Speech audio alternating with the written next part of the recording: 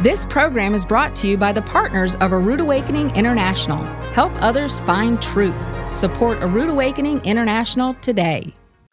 Picking and choosing verses out of context is how centuries of Christianity have created a persona of the Messiah that is far from reality. In this inaugural episode of Charting the End, Michael Rood sheds light on how we got here and how we can unravel history to get back to the truth. Because it's the end of the sixth day, the sun is set, and this is Shabbat Night Live.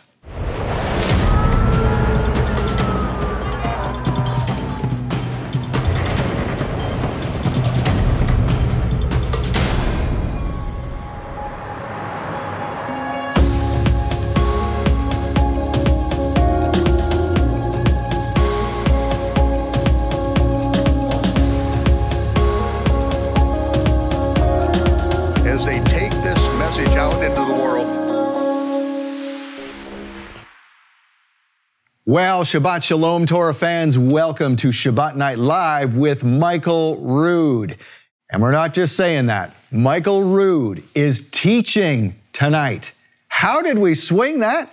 Well, guess what? We found a series that he recorded in 2020 that has never been broadcast. No one has ever seen this, and you are going to be the first to see it tonight. In fact, Michael recorded so much material that we're still not, sure how many episodes this is going to be. We're look, thinking maybe like 10.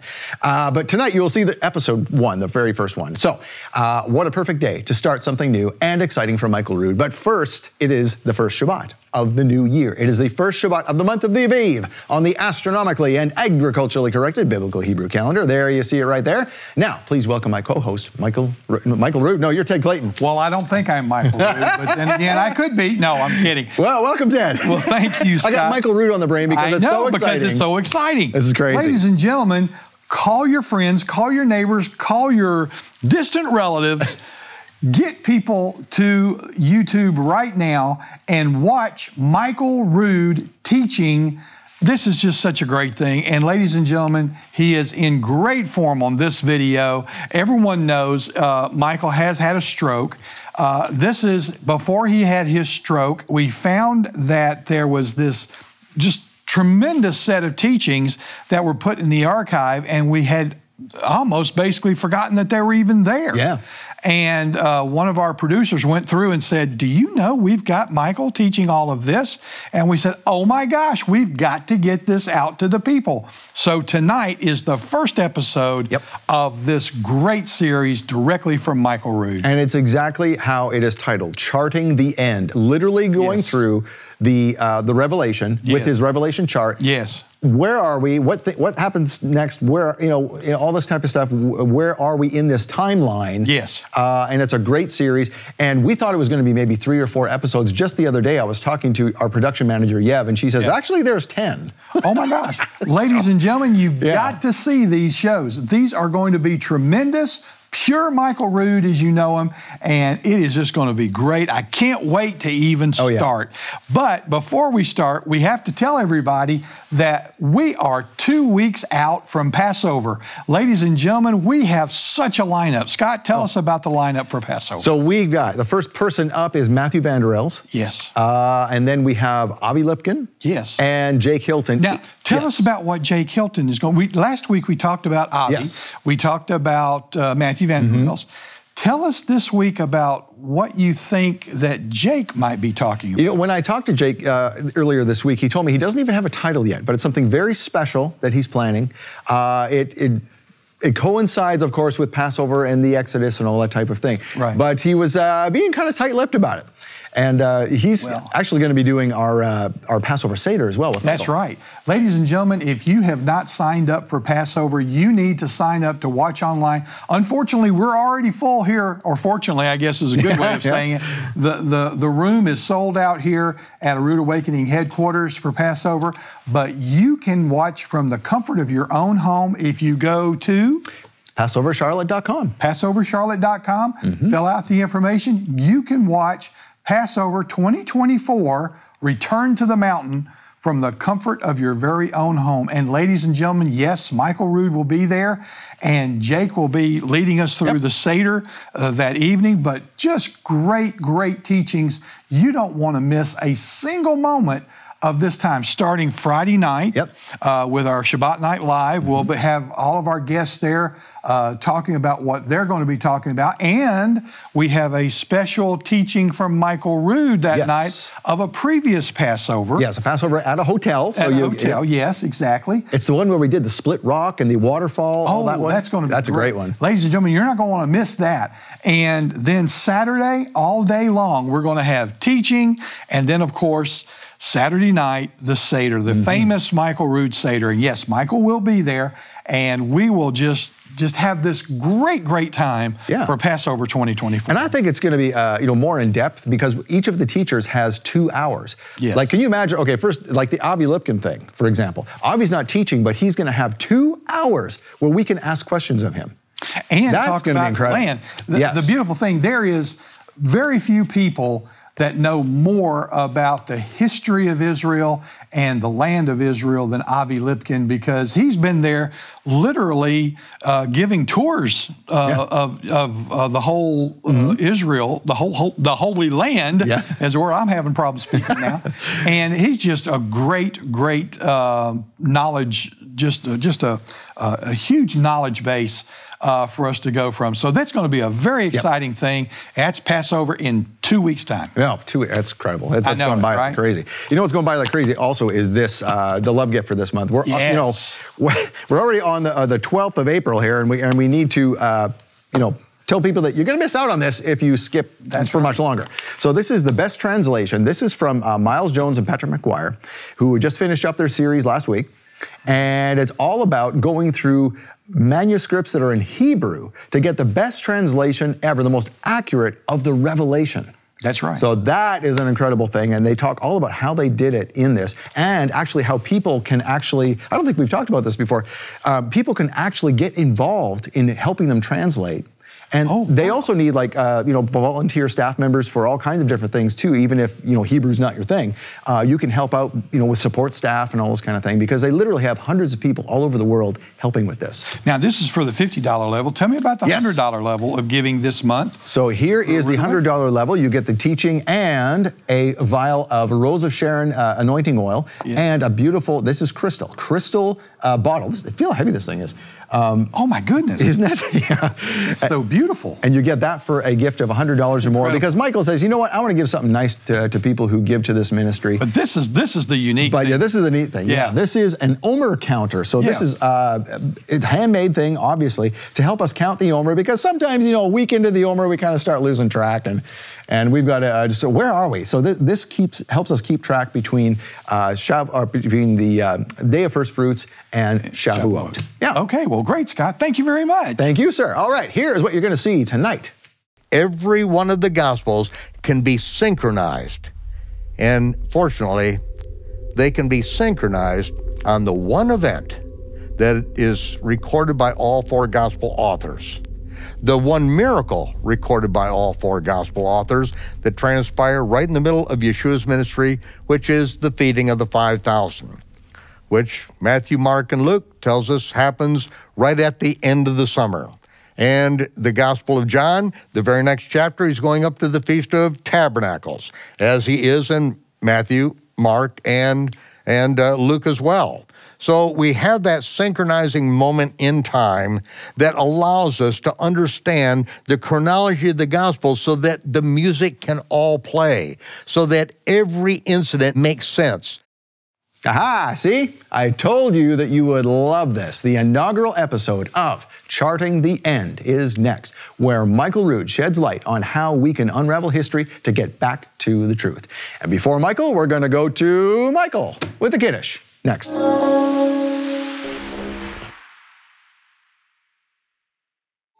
Not one book of the Bible was written by Greeks. They were all written by Hebrews. So, why do we accept that the best and most accurate translations of the New Testament come from the Greek? don't think this is something that's going to tear apart your faith. The story is essentially the same, but there is tweaking that's done in there that has very harmful effect. So we need to seek relationship with the God of truth Right. and get back to what was originally said. In the best translation, Dr. Miles Jones and Patrick McGuire reveal a fascinating new methodology to create the most accurate translation of the book of the Revelation ever produced. This month's Love Gift teaching, The Best Translation, is not available anywhere online, but we'll give it to you as our thanks for supporting A Rood Awakening International. When you donate $50 as a love gift to this ministry in April, you'll get The Best Translation with Dr. Miles Jones and Patrick McGuire on DVD or Blu ray. Donate $100 and we'll send you The Best Translation, plus a Rose of Sharon gift set featuring a vial of anointing oil and a beautiful crystal bottle. Donate $300 and we'll send you The Best Translation, the Rose of Sharon crystal bottle set, and a handmade wooden Omer counter to celebrate the countdown to Shavuot. These gifts are a limited time offer from Michael Rood to thank you for your support. Make your donation today and receive the $50 gift, the $100 gift, or the $300 gift. Thank you. Your donations ensure that important teachings like the best translation keep coming from A Rood Awakening International.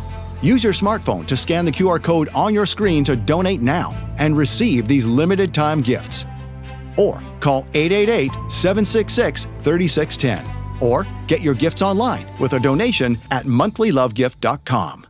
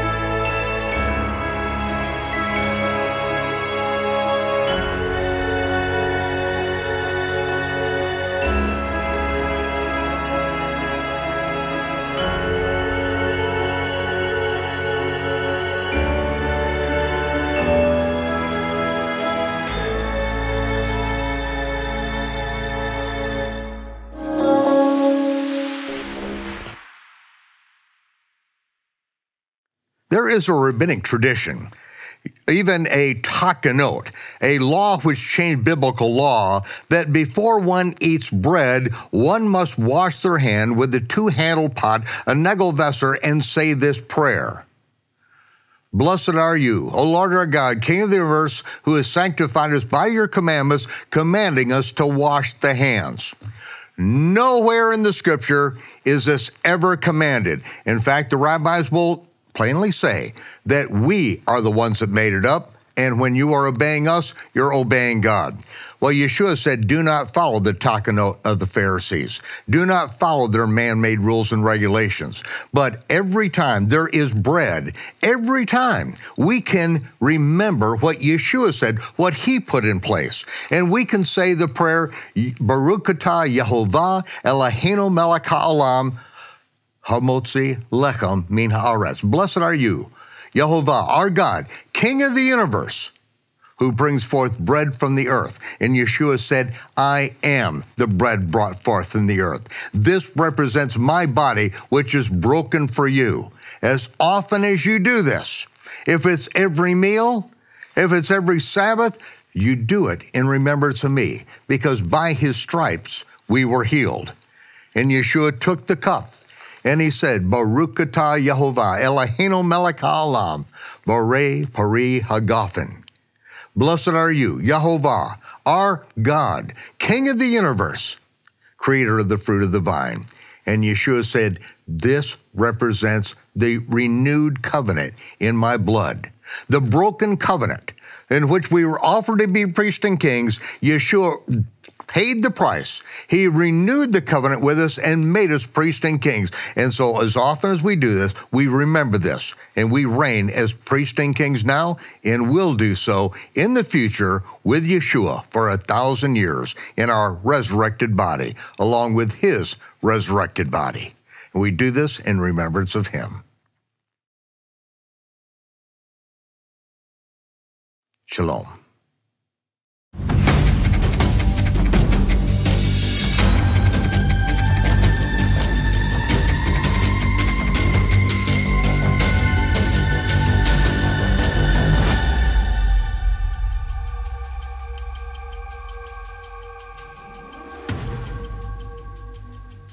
The book of the Revelation, chapter 10, verse 8. The voice which I heard from heaven spoke to me again and said, Go and take the little book, which is open in the hand of the angel which stands upon the sea and upon the earth. And I went to the angel and said to him, Give me the little book. And he said to me, Take it, eat it up. It shall make thy belly bitter, but it shall be in your mouth sweet as honey. And I took the little book out of the angel's hand and ate it up. It was in my mouth as sweet as honey. And as soon as I had eaten it, my belly was bitter. Again, he said to me, Thou must prophesy before many peoples and nations and tongues and kings. Four verses in the middle of the book of the Revelation.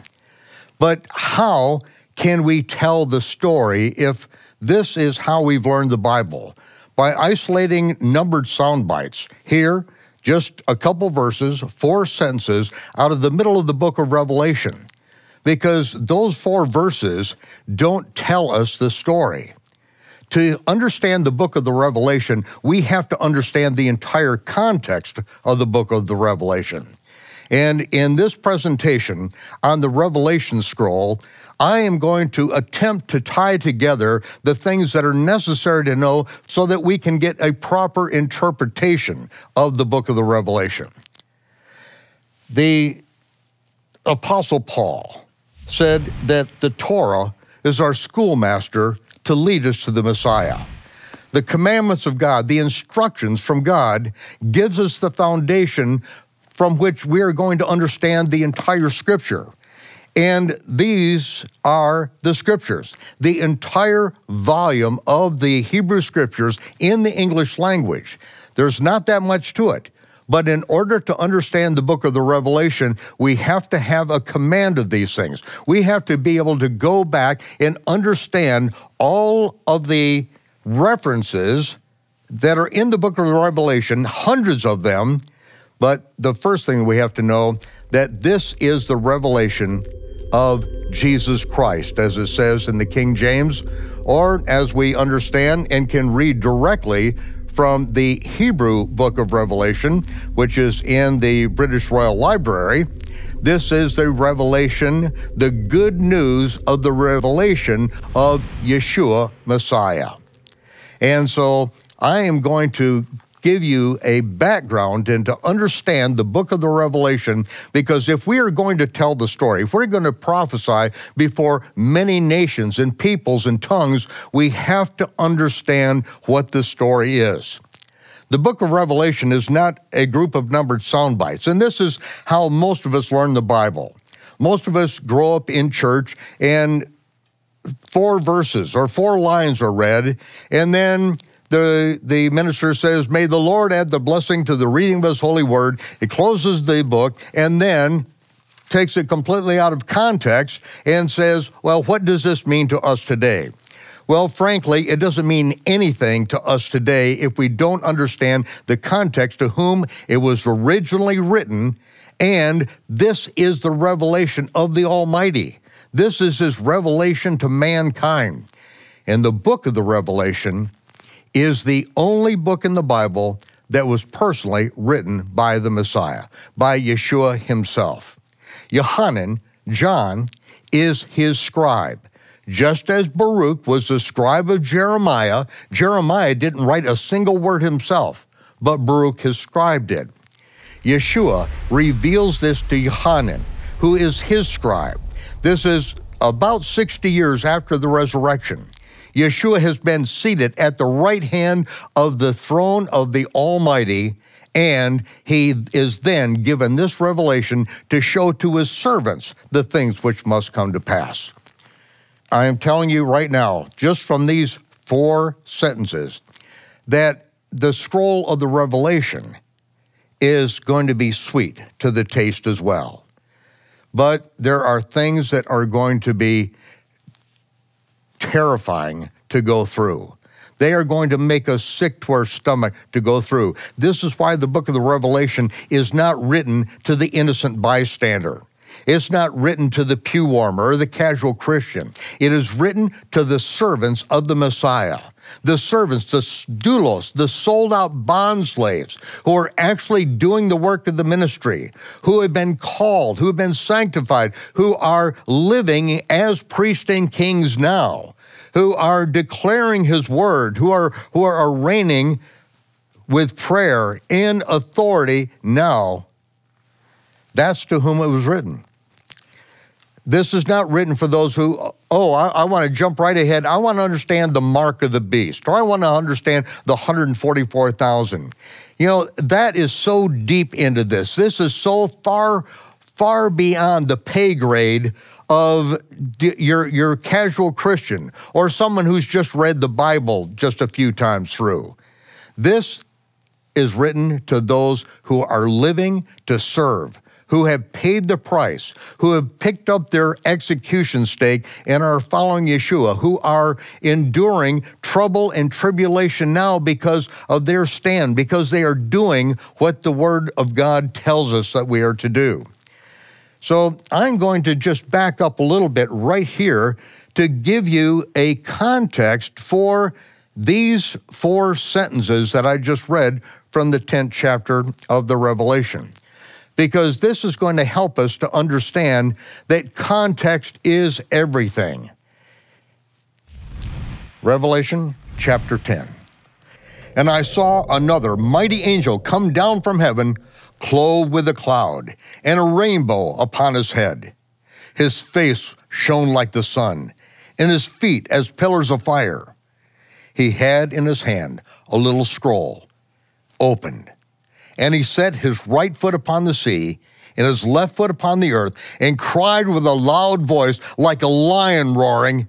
And when he had cried, seven thunders uttered their voices. And when I was about to write, I heard a voice from heaven saying to me, Seal up those things and write them not Yohanan was told by Yeshua to write the things which come hereafter. He was about to write it, and Yeshua said, Stop, do not write the things which are written in the scroll. I don't want my servants to know these things. And the angel, which I saw stand upon the sea and upon the earth, he lifted up his hand to heaven and swore by him that lives forever and ever, who created heaven and all the things that are therein, and the earth and all things that are in there, and the sea and all things that are therein, that there shall be no more delay. But in the days of the voice of the seventh angel, when the seventh angel shall begin to sound, the mystery of God shall be executed. This is the seventh and the last trump. When that trumpet sounds, the mystery of God is executed. The mystery of God, which we read about all through the epistles, that we read about in Yeshua's own words as he spoke to Matthew. When the seventh and last trumpet sounds, the mystery of God is executed. Then I heard a voice that spoke to me and said, Go take the little book, the little scroll out of the hand of the angel. And the angel said, To eat it.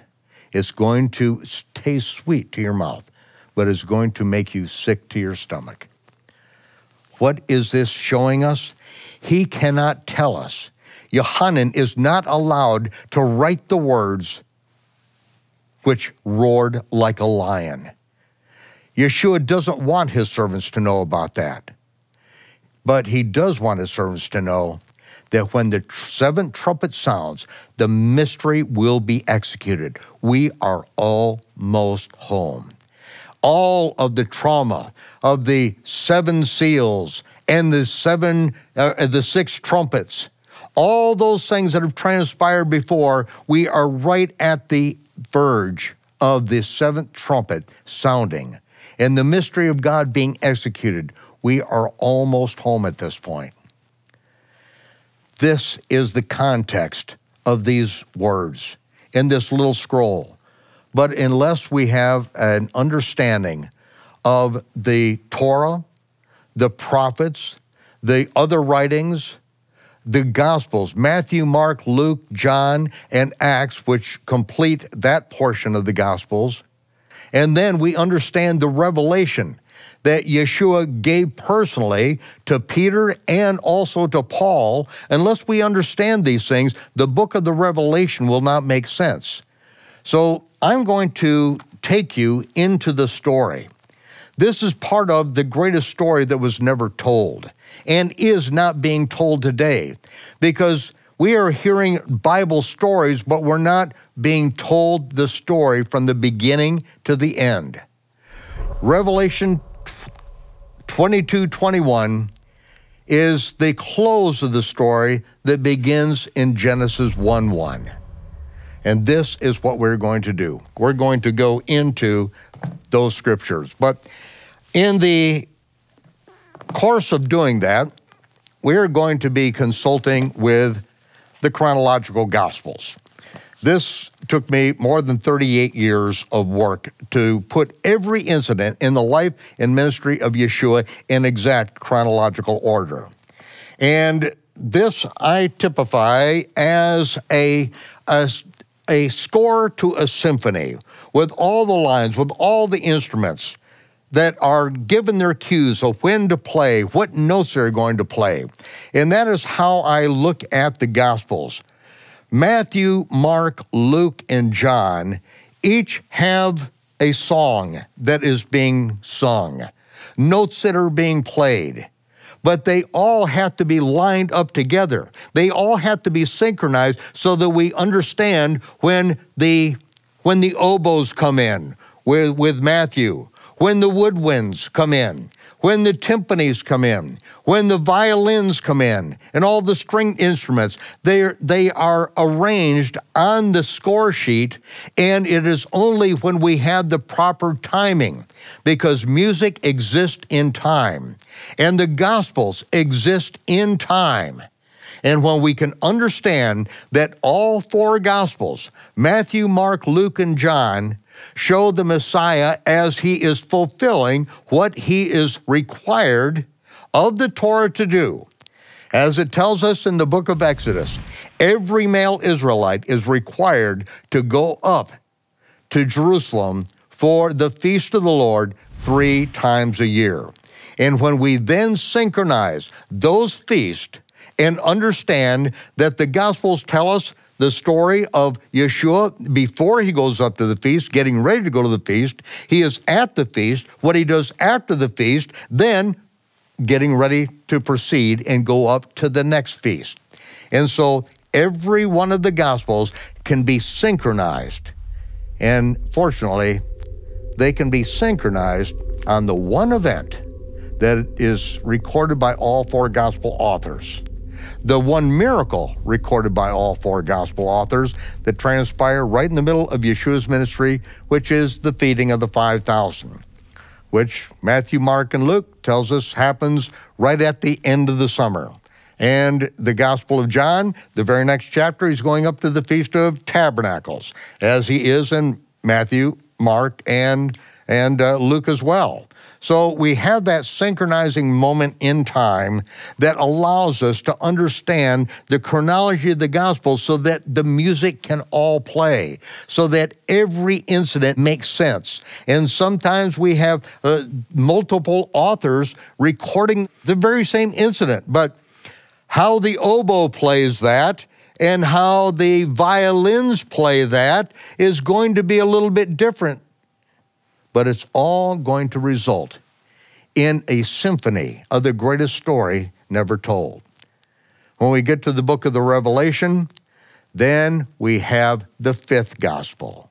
This is the gospel, uh, the good news of the revealing of Yeshua as the Messiah. In the first four gospels, we see that no one was ever allowed to say to anyone that Yeshua was the Messiah. No one was allowed to say it. When people that had the demons cast out of them would, would cry out, with those demonic spirits in them, we know who you are. You're the son of David. You're the Messiah. Yeshua said, Shut up. Come out of them. He would not let it be spoken. To his apostles, his trained ones, he asked them, Who do men say that I am?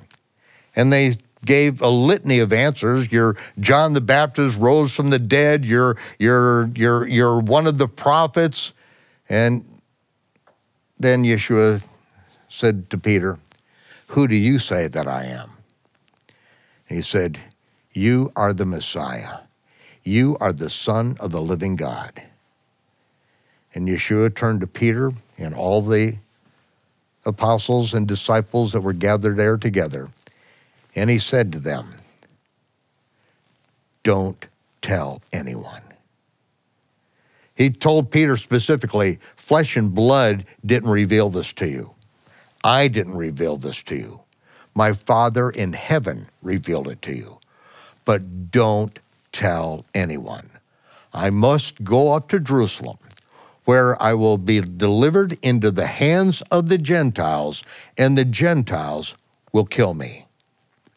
Yeshua himself only declared to one person one time that he was a Messiah, and that was to a Gentile Samaritan woman alone at a well when she said to him, I know that when the Messiah comes, he will tell us all things. And Yeshua said, You're speaking to him now. One time, to one person, he openly said, You are speaking to the Messiah. And so she went into the village, cried in the streets. The entire village came out. And then after hearing what he said, one in the village said, We heard the woman, we didn't believe her. We heard your words. We know you are the Messiah. You are the Savior of the world.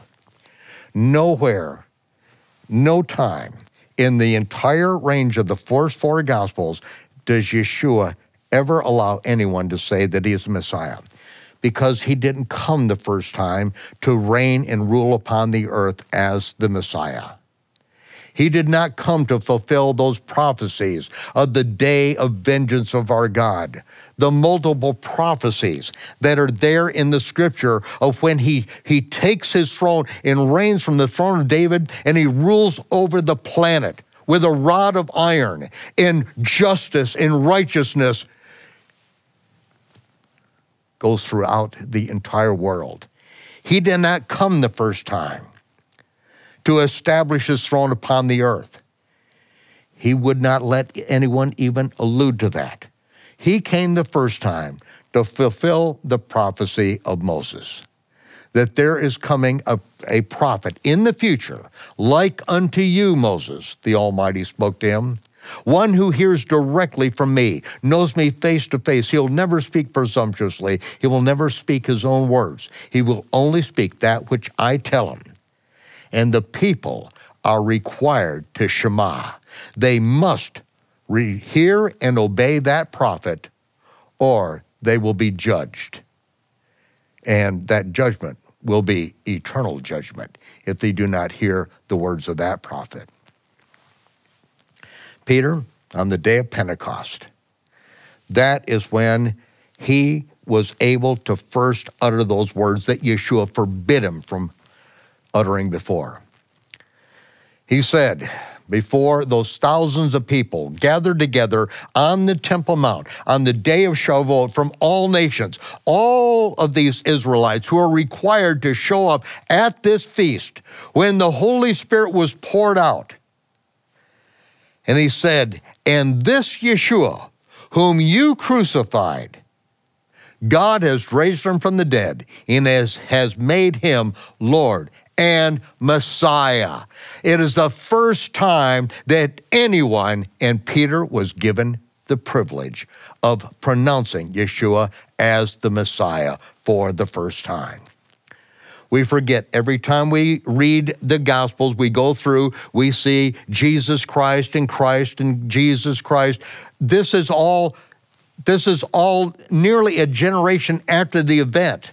After the event in which Peter was allowed to speak that he was a Messiah. He, this does not even enter into the picture of Yeshua's ministry. No one called him Jesus Christ. Christ is not his last name. Is not the son of Mary and Joseph Christ. And so when we read the Gospels, if we hearken back to the time and the place, we just we put in Yeshua. We understand he's Messiah, and there are reference to him being the Messiah. You know, born of Mary, Yeshua, who is also the Messiah. Well, that couldn't be declared at the time, but now we can declare it. In the book of the Revelation is the revealing of Yeshua the Messiah. Not as just the prophet whom we are required to obey, because right now in this in this generation, in where we are in time, this is where we are supposed to be. We are supposed to hear and obey him. As Yeshua declared, go into the whole world and make disciples and teach them what I taught you. This is not being done. We are told little Jesus stories, little Bible stories, but we're not teaching what Yeshua taught. We are not understanding that he did not come to destroy the Torah and the prophets. He came to fulfill these things. In all of the prophecies about the Messiah coming and reigning and ruling upon the earth, those things will be fulfilled.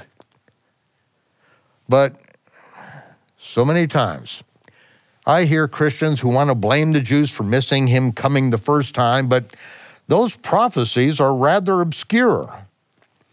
But the prophecies concerning the day of vengeance of our God, those prophecies that when Yeshua read the scroll of Isaiah to preach the acceptable year of the Lord, and he closed the scroll because the next line he could not read to preach the acceptable year of the Lord and the day of vengeance of our God. And for the next six chapters speaks of the Messiah coming with his garments bloodied, who is coming to rule and reign upon the earth. That is the revealing of Yeshua Messiah. And that is the book of the Revelation that we are going to get into. It is sometimes a bitter scroll. It is also a very sweet scroll because we realize that the price that we now pay for following Him will be rewarded with, with responsibilities as priests and kings to rule and reign with Him for a thousand years. Israel, the Jews, may have missed Him for the most part coming the first time, but most of the Christian world has missed His second coming because they have replaced it with a Hallmark channel Jesus in a Hallmark heaven.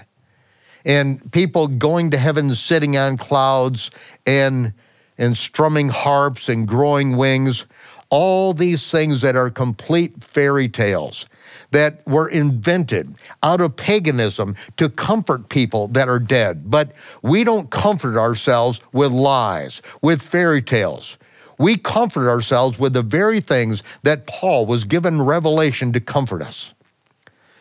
Because we do not sorrow as others sorrow. We do not sorrow as others who have no hope. Because we, if we believe that God raised Yeshua from the dead, we know that there is a resurrection. And just as Yeshua promised, there will be a resurrection. And in that resurrection, there will be a reward for the righteous. And there is going to be more than one resurrection. There is going to be a resurrection of the unjust, and there is going to be punishment. But we're not going to focus on that because our invitation is, as it is in the end of the book of the Revelation, and the Spirit and the bride say, Come, come, join in the story. This is the greatest story that's, that's never told. This is the reality.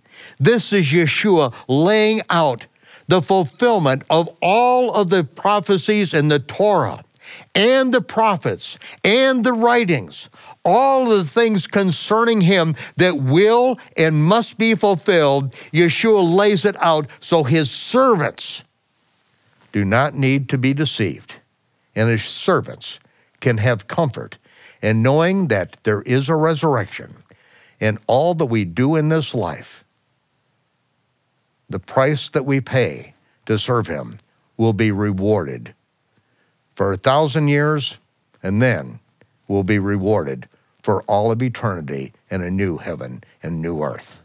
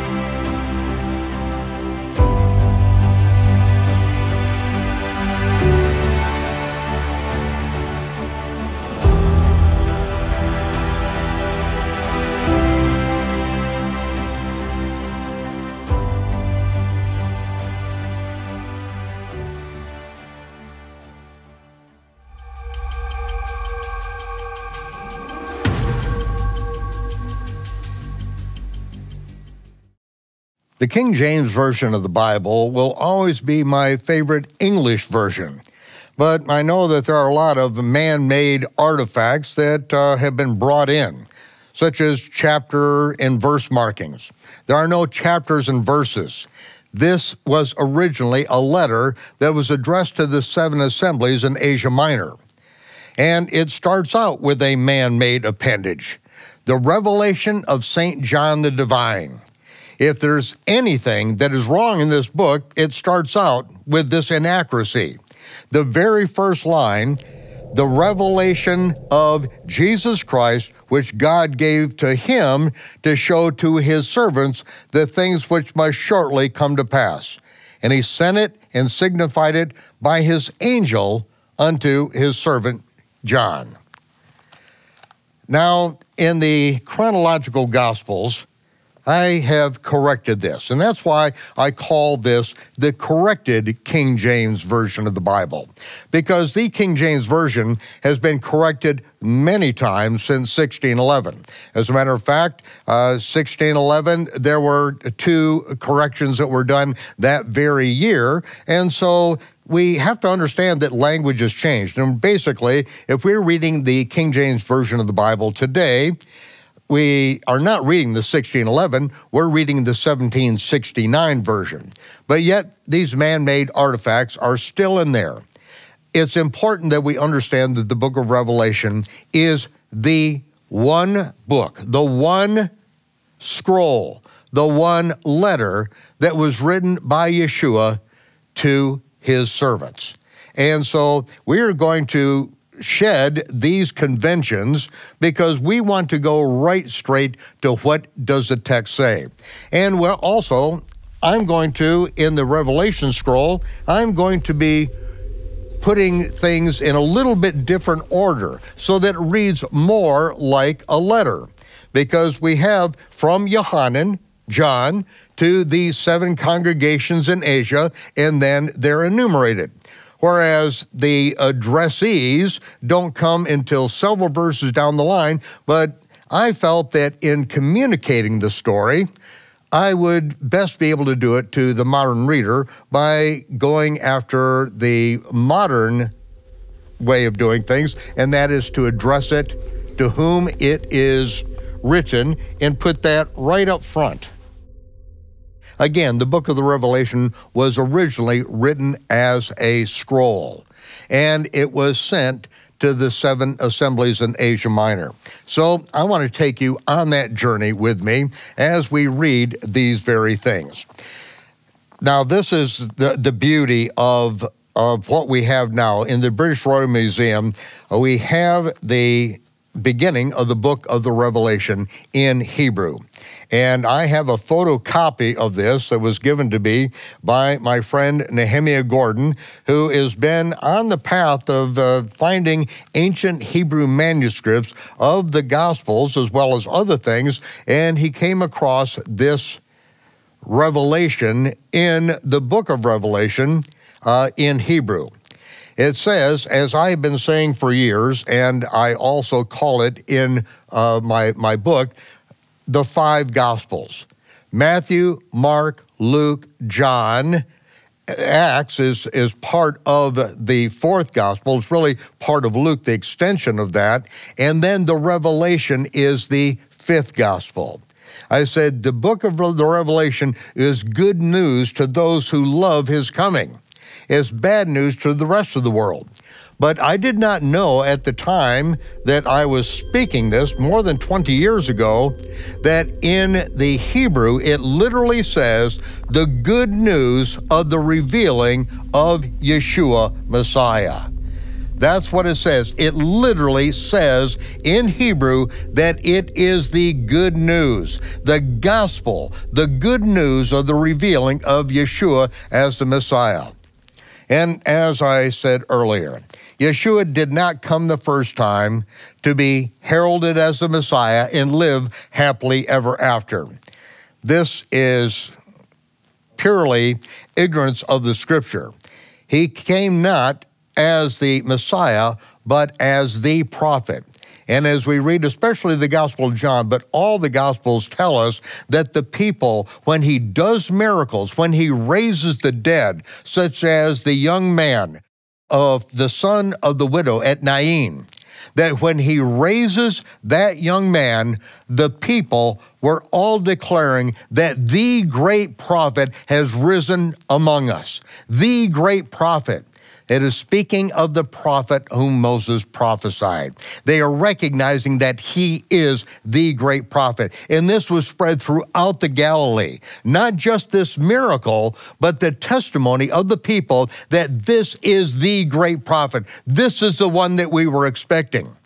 And so, just a few weeks later, when all of the Galilee and thousands and thousands of disciples got together, which was just days before the, the, the Feast of Trumpets, and the Day of Trumpets in the, in the Galilee, that when they assembled together and he fed the 5,000 with 11 barley loaves there, feeding the multitude, it says that they wanted to make him the king, wanted to make him king.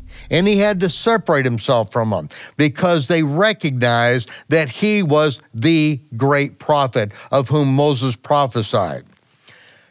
Now, Yeshua still is that great prophet the one that we must hear and obey.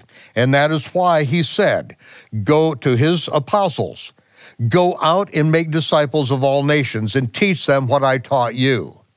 Teach them to obey, hear and obey what I am telling you.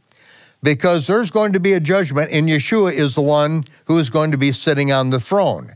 And that is why it's important that we understand and, and we, we, we grasp the gravity of that very revelation of him as the prophet who we must hear and obey. And as on the day of Pentecost or Shavuot, uh, Peter said, Those who do not Shema, do not hear and obey that prophet, will be destroyed. It is an eternal judgment.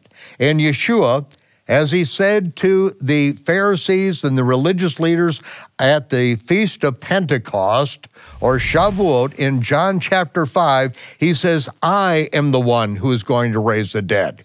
The Father has put all judgment into my hands, and I am going to not only raise the dead, but I am going to be the one that judges you. And of course, they immediately, says, began making plans how to kill him. Well, Yeshua still is that prophet, and still very few people listen to him. But this is different.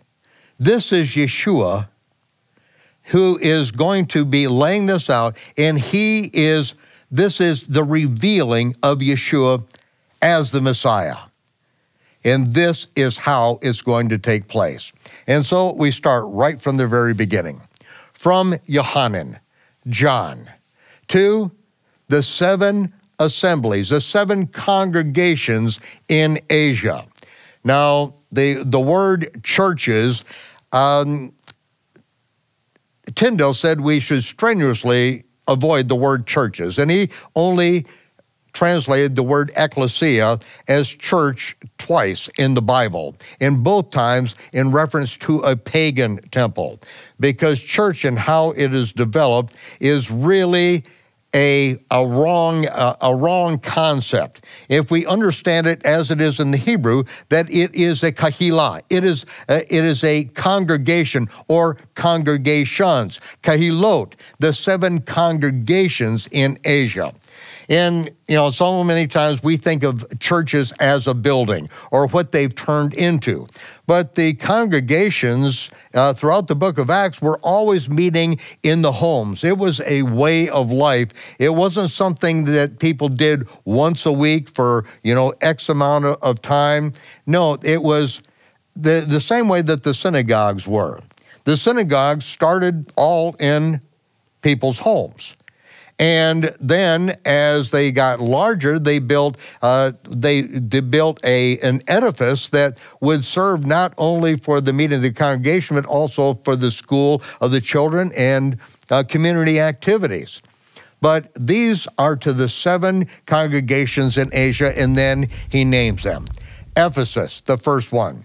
And fortunately, we have a great deal. We have two chapters in the book of Acts that deal with what happens at Ephesus so that we can have the context of what is has transpired in the past and what is transpiring at the time this is written to the believers, to the congregations in Ephesus. We also have Smyrna, Pergamos, Thyatira, Sardis, Philadelphia, and Laodicea. And so, from Yohanan to the seven congregations, grace to you and shalom from he who was, he who is, and is to come. Now, in Hebrew, as we see in the manuscript in the British Royal Museum, it is he who is, he who was, he who is to come, Haya Hove Veyavo. Haya Hove Veyavo. Those three Hebrew words are then contracted to Yehovah, which is his memorial. This is how we remember his name forever. Because his name, Yehovah, means Haya Hove Veyavo, he who was, he who is, and he who is to come. And this is the salutation grace, grace, and shalom from he who was, he who is, and he who is to come. And from Yeshua Messiah. Now, in the Hebrew, it says Yehoshua Messiah. Yehoshua is the formal, complete name of Yeshua. Yehoshua means Yehovah is our salvation. But that was shortened and shortened in the scripture, shortened during Israel's history from Yehoshua, the son of Nun, who was a servant of Moses, and then he is later in the prophets, then it's shortened down to Yeshua. It means the same thing, it's just a shorter form. And so commonly we call him Yeshua, but he is called Yehoshua in the text. Yehoshua, the Messiah, who is the faithful witness, the firstborn from among the dead. Your King James Version says the first begotten from the dead, but that is the wrong usage of that word in the Greek, which is genao. No, he is the firstborn from among the dead, not the first begotten. And this is something that we go into in some detail and want you to understand because there is a difference between being begotten again, as it tells us in 1 Peter 2 20 or, or 1 3, and born again, as it says in 1 Peter 2 23. So we're going to get into the detail on that because it's important to understand that Yeshua is not the first begotten from the dead, he's the firstborn from among the dead because he was resurrected with a new body, a new body that is equipped to live in the heavenly kingdom. Marvel not that I say unto thee, you must be born again.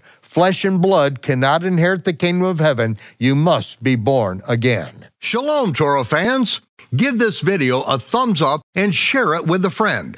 Tap the subscription button and the bell icon.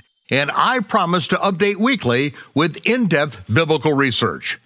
Be sure to download the new michaelrood.tv app for both mobile and home devices for even more commercial free content.